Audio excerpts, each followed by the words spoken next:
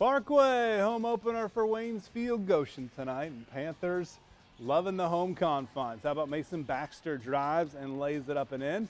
Tigers, Stephen Andrews in transition catch and finish there, but Parkway taking control defensively. The steal. Dylan Hughes lays it up and in. A busy night for Hughes. Then he's doing the tip drill. Look at this. Put back. Tips it in just like Coach Hughes draws it up, and then Hughes again, post move and score. He had 15 points, seven rebounds, more Parkway defense.